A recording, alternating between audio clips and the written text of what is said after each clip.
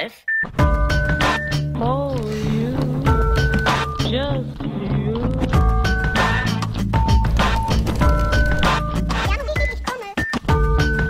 Oh, you. Aujourd'hui, on est dans mon atelier, au tous les coups.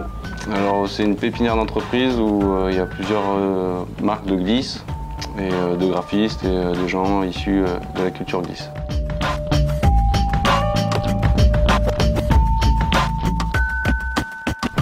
Euh, essentiellement euh, de la récupération de planches de skate.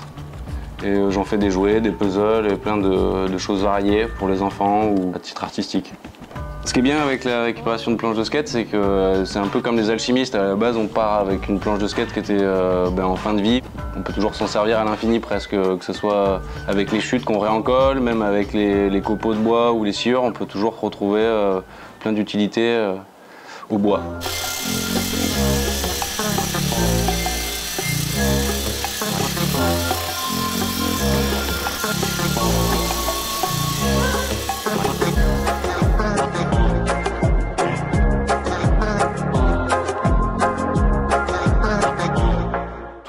Sur mes toiles se retrouve sur les jouets et décliné sur les jouets ou les objets que je dessine en général. C'est souvent euh, des personnages de profil, un peu comme euh, Picasso. Mais après, je m'inspire pas que de, Picasso. Il y a plein d'autres artistes, que ce soit des graffeurs euh, modernes ou, plein d'autres artistes issus de plein de milieux différents. Je garde le, le côté enfantin ou la spontanéité du tracé direct. J'ai pas tout le temps de, de, croquis ou de, modèles à l'avance, à part quand je réinterprète des toiles où il y, a certains sujets où, euh, où je réinterprète, où je pars de quelque chose de précis à la base. Sinon, en général, c'est très euh, intuitif.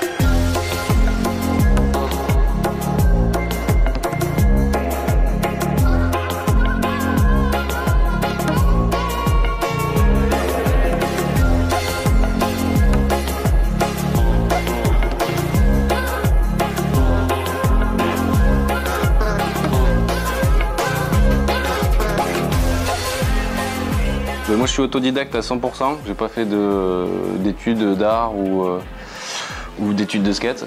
Ça n'existe pas. Mais après, euh, après voilà, j'ai appris euh, avec les bouquins et tous les artistes qui m'inspiraient, au même titre qu'on le fait dans, le skate, en s'inspirant des figures et d'autres skateurs. Ben, moi, j'ai fait à peu près pareil dans le dessin, à regarder ce qui me plaisait, à prendre ce qui m'inspirait le plus. J'ai toujours baigné dans, ouais, dans cet univers-là. Il y a toujours eu des gens qui dessinaient autour de moi. Mon grand-père est architecte, mon père l'est aussi, mais lui, il fait du design de planches de surf, il fait des décos, des sprays. Moi, c'est plus dans le milieu du skate, avec euh, la récup de planches de skate et, euh, des décorations pour des marques euh, de planches.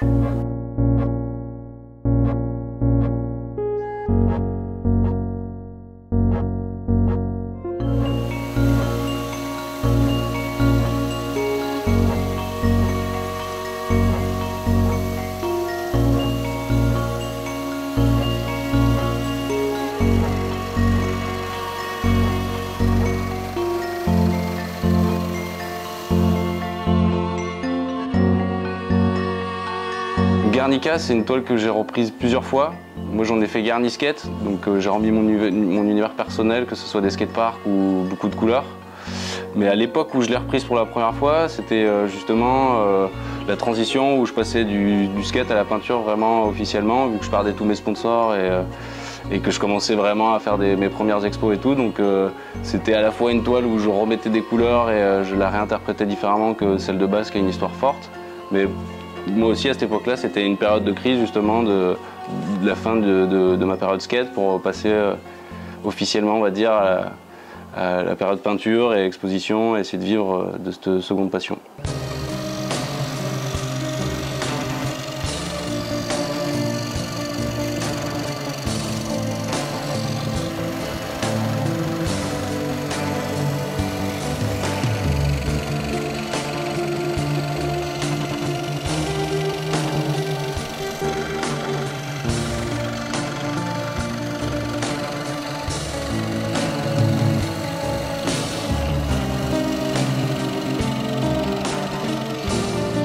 Généralement, je fais des grands formats en toile où j'utilise euh, que de- des pinceaux et de l'acrylique. Et après, pour les jouets, sur les, sur les jouets en planche de skate ou les, euh, formats plus petits, j'utilise des Posca et, euh, et de, la, peinture acrylique aussi pour les fonds, mais généralement je me sers de ces feutres là en fait qui me servent de pinceau en, en très précis on va dire, qui sont très fins où on peut faire beaucoup de détails. Du coup c'est un peu le, le pinceau du 21e siècle.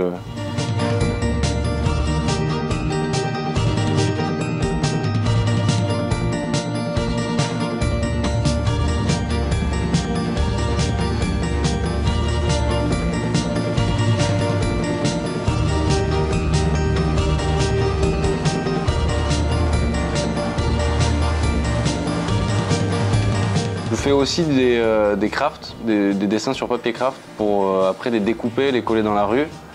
Donc c'est un côté assez ludique justement de, coller euh, dans la rue en direct live.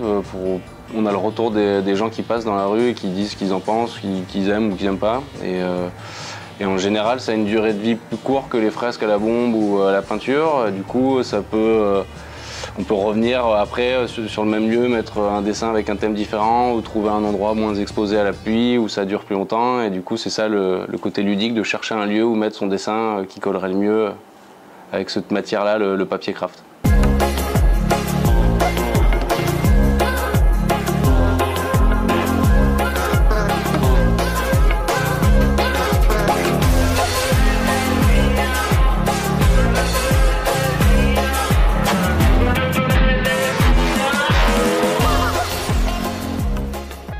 Pour moi, le Graal ultime, ça serait un, peu comme, euh, comme Guernica, mais, euh, reprendre la Sagrada Familia en skatepark, on va dire, euh, un espèce de skatepark alternatif où ce serait autant des œuvres d'art que, que des, des- spots de, skate praticables, qui sont un musée à ciel ouvert.